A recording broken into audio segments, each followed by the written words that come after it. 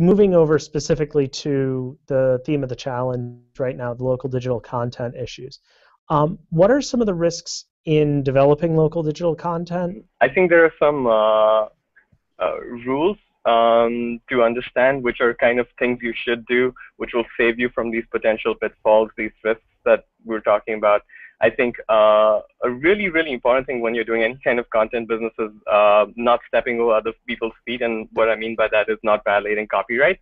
Uh, content businesses primarily find their value in authentic, original content that can be delivered to users almost every day. And if you think about it traditionally, what's the most popular content business? We know it's the newspaper industry. And newspaper industry prides itself in high quality, authentic knowledge information that comes to you at a frequent time every day, early in the day. And so you've got to understand that the entire intellectual property that such organizations have is the value of the content and the, the subscribership.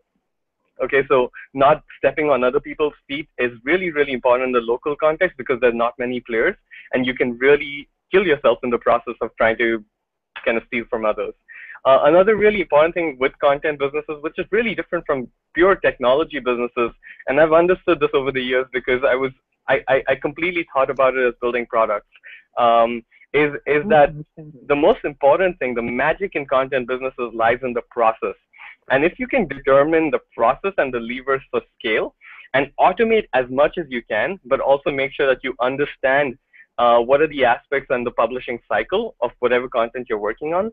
I think that's really, really important. A risk for an entrepreneur in this space is trying to consider it like a product business and actually releasing versions of things and releasing uh, and focusing too much on your channel and distribution and forgetting that the magic lies in the process of the content because you can scale only when you can scale uh, content production and content translation and content uh, curation a lot of the uh, entrepreneurs assume because of the lack of the local content, having any local content means success.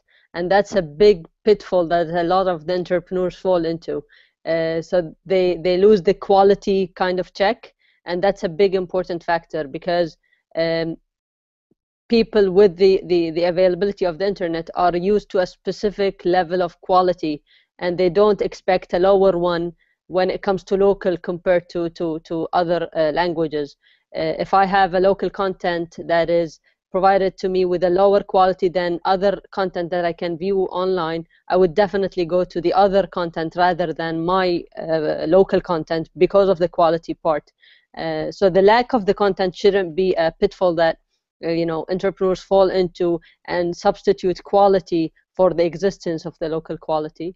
Uh, another aspect that I would think of is uh, the importance of research and, and understanding your, your, your segment market. Uh, so when, when you talk about content or local content, uh, which content are you producing? Are you providing um, as as um, as uh, Varun said, if we're talking about the industry of, of publishing and content creation in terms of newspapers and, and magazines and stuff like that, we have to interview the readers of these magazines and newspapers before creating the content that suits them.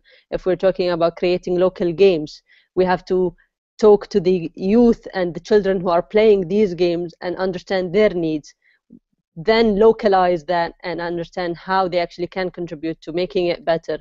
So there are two things focus on the quality and involve the, the, the target market in your research and get the uh, basically don't assume that you know what is needed there. Just talk to the people and do the proper research